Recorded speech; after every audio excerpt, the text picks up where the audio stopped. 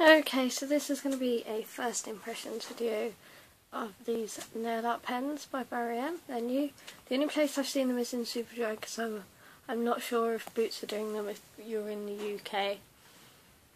Um, I, sometimes they have exclusives between them. I don't know if they do. You can get them on their website. I will put it in the link below.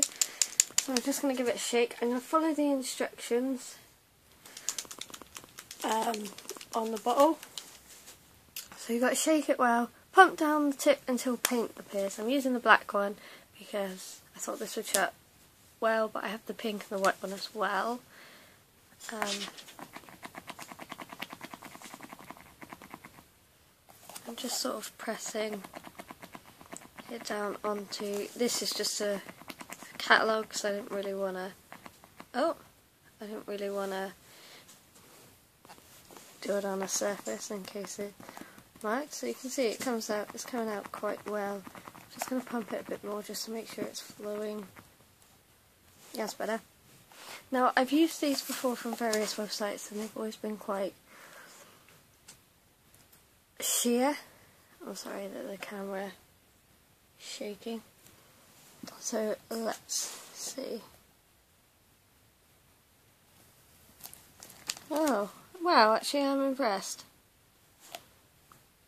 So I'm not even pressing, I'm just dotting the pen onto my finger. And there you can see the dots. Look really good actually, I'm really impressed.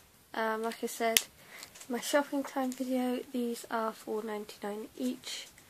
I got them on buy two get one free which is currently on. Well, it was on when I was in there a couple of days ago. Um, yeah, so that was pretty simple actually. So I'm actually going to try the pink one and see what this one looks like as well. Oh, oh I should have shaken it. Give it a good shake, shaking the whole camera as well. Then you pump it really well. And then we dot and you can see I'm literally just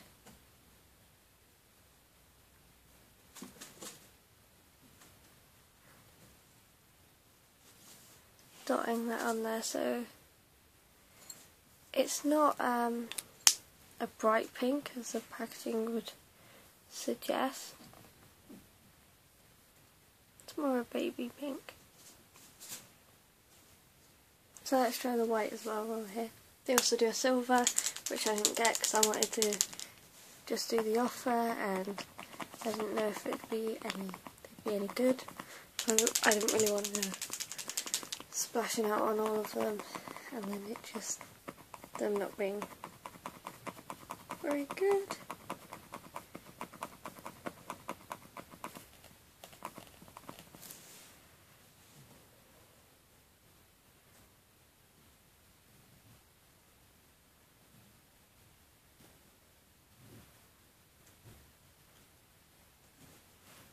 You could very easily draw with them as well.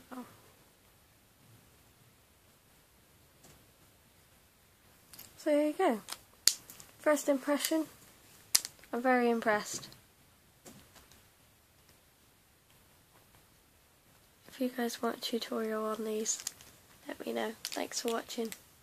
Bye.